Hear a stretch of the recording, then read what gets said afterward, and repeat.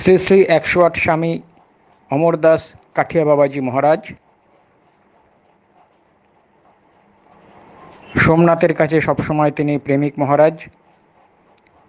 কারণ অনেকেই হয়তো শ্রী শ্রী অমরদাস কাঠিয়া বাবাজি মহারাজের অনেকভাবে অনেক সঙ্গ করেছেন, কিন্তু একমাত্র সোমনাথকেই মহারাজজি বলেছিলেন, তুমি হচ্ছ আমার প্রেমিক। তাই সোমনাথের কাছে সবসময় তার মহারাজজি প্রেমিক মহারাজ। দু সাত সালে যখন তিনি আমাকে দীক্ষামন্ত্র প্রদান করলেন, তখন তিনি বললেন, তুমি আমার গুরু ভাই, আমি তোমার জ্যেষ্ঠ গুরু ভাই, আমরা তাই থাকব। আমাদের গুরুদেব শ্রী শ্রী একশো আট স্বামী জানকী দাস কাঠিয়া বাবাজি মহারাজ, তোমার গুরুদেব তোমার থাকবেন। আমি তোমাকে সেবা ধর্মে দীক্ষামন্ত্র প্রদান করছি।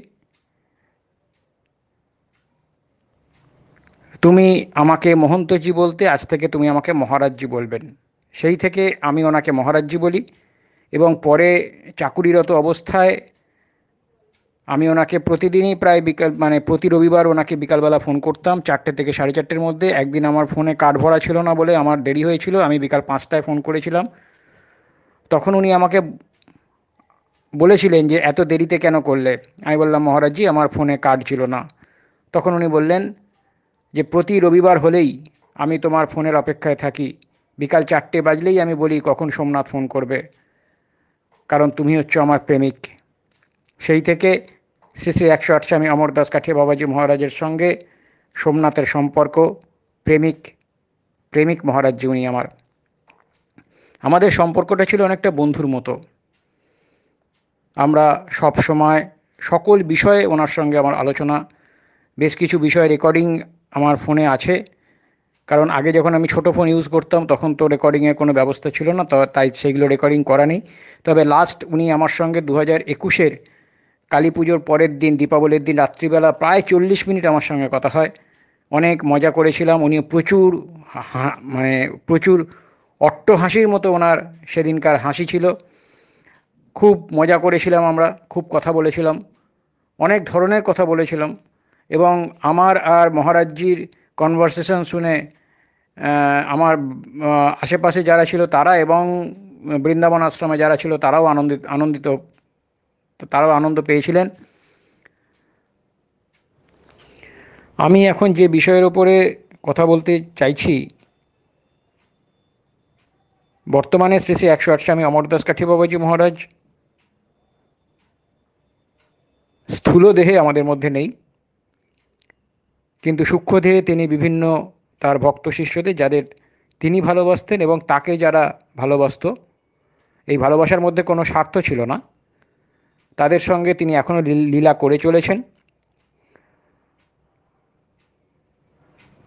আজকেরই সন্ধেবেলা আমার কাছে একটা কবিতা আসে। যে কবিতার মধ্যে তার এক শিষ্যা, শ্রী শ্রী একশো আট স্বামী অমরদাস কাঠি বাবাজি মহারাজের এক শিষ্যা তার উদ্দেশ্যে বলছেন, তুমি যে বলতে আচ্ছা সব ঠিক হয়ে যাবে, সেটা আর এখন ফোনে শুনতে পাই না। আজকে আমি কিছুক্ষণ আগে আমার পুরনো অ্যালবামের কিছু অডিও খুঁজছিলাম। যদি কিছু মানে সেরম যদি আনইম্পর্টেন্ট হয়, তাহলে সেগুলোকে আমি ডিলিট করে দেব। সেরম কিছু জিনিস খুঁজতে খুঁজতে হঠাৎ করোনার সময় যখন করোনা মহামারী আমাদের দেশে এবং সারা পৃথিবীতে গ্রাস করেছিল, সে ঠিক সেই সময় শ্রী শ্রী অমরদাস কাঠি বাবাজি মহারাজের সঙ্গে আমার একদিন একটা কথোপকথন আমার সামনে আসে। সেটা আমি পুরোটা শুনে খুব আনন্দ পাই।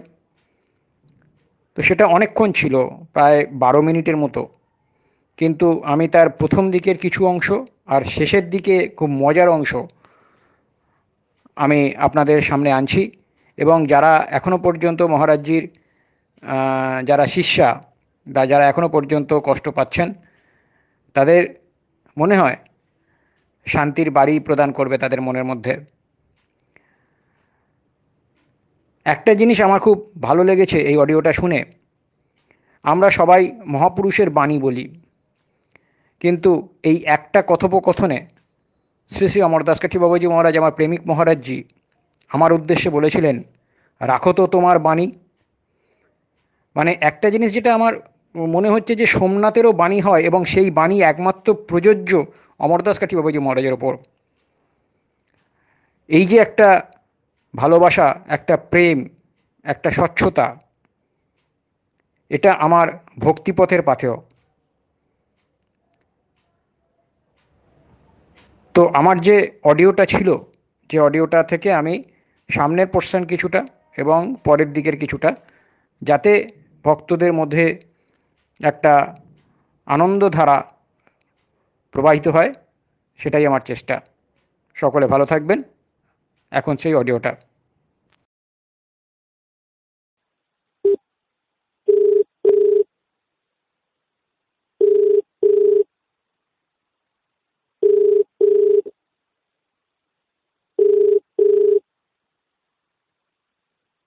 হ্যালো হ্যাঁ মহারাজজি সোমনাথ বলছিলাম। বলো কেমন আছেন? ভালোই আছি। রাত্রি রাতে মহারাজজি করোনা তো এবারে বেড়েই চলেছে।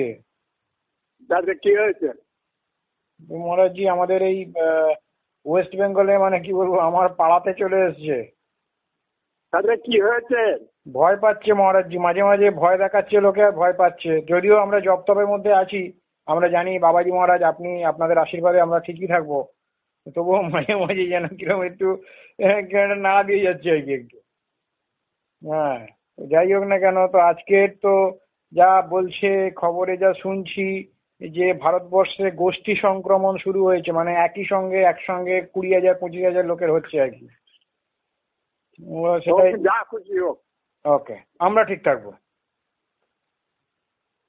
তাই তো মহারাজ আমরা ঠিক থাকব কি মরি যাব সে পরের কথা। আচ্ছা হ্যাঁ।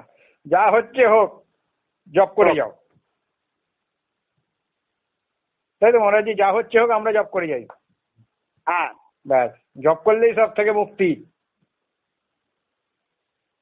আশীর্বাদ রাখবেন মহারাজজি হ্যাঁ। তবু আপনি মহারাজজি আশীর্বাদ রাখবেন আমাদের ওপর। হ্যাঁ সব সময় ঠাকুরজি ঠিক রাখবেন। জয় শ্রী রাধে। ঠিক আছে মহারাজজি আপনার চরণে সাষ্টাঙ্গ দণ্ডবত প্রণাম জানাচ্ছি। জি ঠিক আছে। আরতি কি হয়ে গেছে না হবে? আর কি এখনও দেরি আছে। আচ্ছা। ওখানে সাড়ে সাতটায় সন্ধে হয় তো? ওখানে এখন এখনই সাতটা বাজে। হ্যাঁ। আমাদের এখানে হলো। মানে আমাদের সন্ধ্যে হতে সন্ধ্যে হতে হতে এখন আধা ঘণ্টা দেরি হবে। সাড়ে সাতটায় সন্ধে হয়। সেটাই আর কি। ঠিক আছে মহারাজজি ভালো থাকবেন সাবধানে থাকবেন সুস্থ থাকবেন আর এই সময় একটু মিষ্টিটা কম খাবেন। না তাহলে চলবে না। কেন চলবে না? মিষ্টি কম করে কি করে খাব?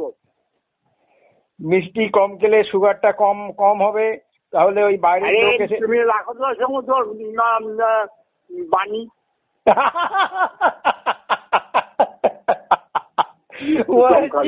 হ্যাঁ এগুলো এগুলো এগুলো এগুলো মিষ্টি করে কম কম মিষ্টি কম খাই যাবে না। আচ্ছা মানে সুগার হলেও মিষ্টি খেতে হবে। হ্যাঁ। মানে মিষ্টি খেলে করোনার কাছে আসবে না। হ্যাঁ।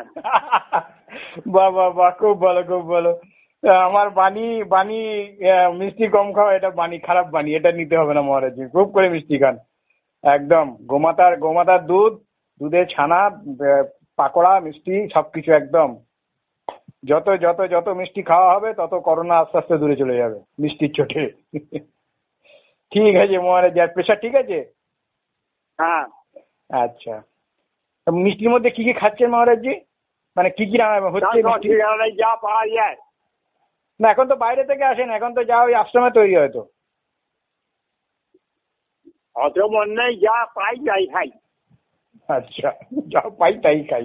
খুব ভালো জিনিস মহারাজজি জয় শ্রী রাধে তা রাবড়ি রাবড়ি হচ্ছে তো? প্রতিদিনের মেনুতে রাবড়ি আছে তো? কে জানেন তাই খাই। যা দেয় তা আপনি তো আপনার তো প্রিয় তো রাবড়ি আর রাজভোগ। তা রাবড়ি আর রাজভোগ হচ্ছে তো প্রতিদিন? কি হচ্ছে না হচ্ছে জানি না। আচ্ছা। তাই খাই। আচ্ছা মানে মিষ্টি হলেই হলো? হ্যাঁ। ওকে মহারাজজি ঠিক আছে ঠিক আছে। আমাদের একটা মিষ্টি খাওয়া বন্ধ হয়ে গেছে মিষ্টির দোকান বন্ধ মিষ্টিও খাওয়া বন্ধ। তো ঠিক আছে মহারাজি যাই হোক না কেন। তো ঠিক আছে আপনার সঙ্গে কথা বলে খুব ভালো লাগল। আপনাকে আবার সাষ্টাঙ্গ দণ্ডবাদ প্রণাম জানাচ্ছি। আর আশীর্বাদ রাখবেন যেন সবকিছু ঠিকঠাক থাকে। হ্যাঁ। ঠিক আছে। হ্যাঁ বললে শুধু হবে না বলতে হবে সবকিছু ঠিকঠাক থাকবে। ঠাকুরই সব ঠিক রাখবেন। জয় শ্রী রাধে জয় শ্রী রাধে। ঠিক আছে মহারাজজি। ঠিক আছে মহারাজজি, খুব ভালো লাগল মহারাজজি আজকে কথা বলে। ঠিক আছে মহারাজজি, রাখছি তাহলে?